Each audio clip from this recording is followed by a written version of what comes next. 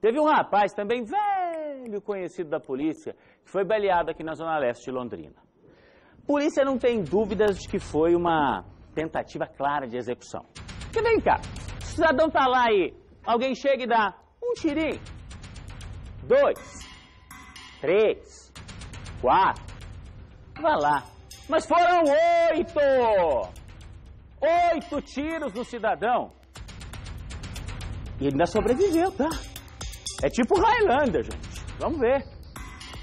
O rapaz de 24 anos foi atendido em estado gravíssimo pelos socorristas do CIAT. O atentado foi no Jardim Monte Carlo, zona leste de Londrina. A vítima atingida pelos disparos contou para os policiais que chegaram no local que ele estava de moto próximo da casa dele quando foi surpreendido.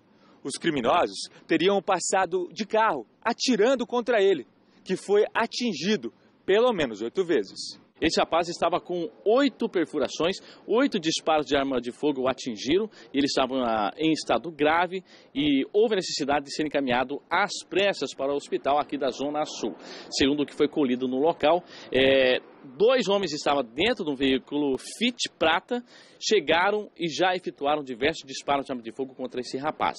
O homem baleado foi identificado como Douglas Robert da Silva, segundo a polícia, dono de uma extensa ficha criminal, incluindo homicídio e tráfico de drogas. Os autores dos disparos ainda não foram identificados. Há uma motivação de vingança contra esse rapaz, já que ele tem aí uma extensa ficha criminal, de repente ele está aí com pendências com seus rivais